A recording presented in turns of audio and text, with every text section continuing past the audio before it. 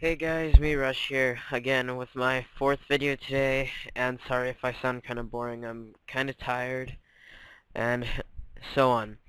So, I believe I found um, the smallest monostable circuit, and for those of you that don't know what a monostable circuit is, uh, you can use them to make T flip-flops basically, and a T flip-flop allows you to have a lever or a button act as a lever, but obviously here, um, there's no button here and I don't think that you can get it to be a button but I don't know. So basically you get out a hole and then this is your button right here this dirt block. Tap on this uh, this will go off right here okay? So you just tap it. That.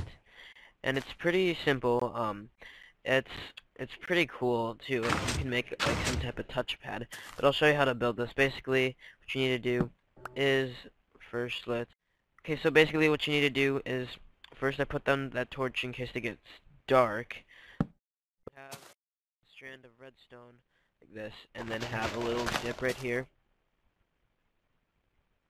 into this here um, piston, like that.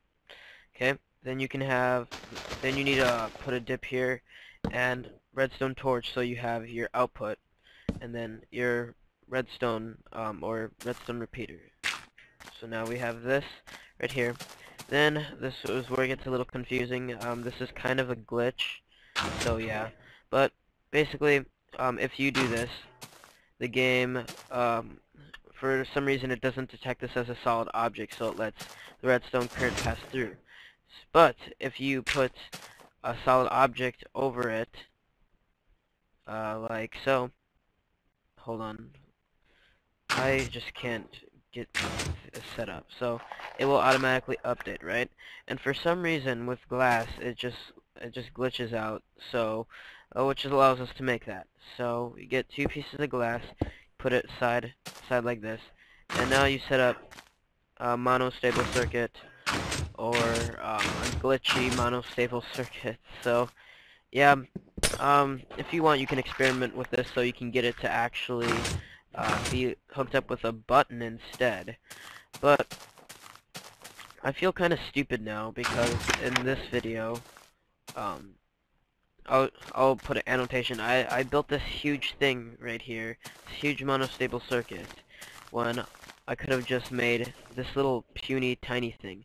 So yeah, it's only about one block wide and about one, two, three, four, five, six, seven, eight, nine blocks uh, 9, 10 blocks in total.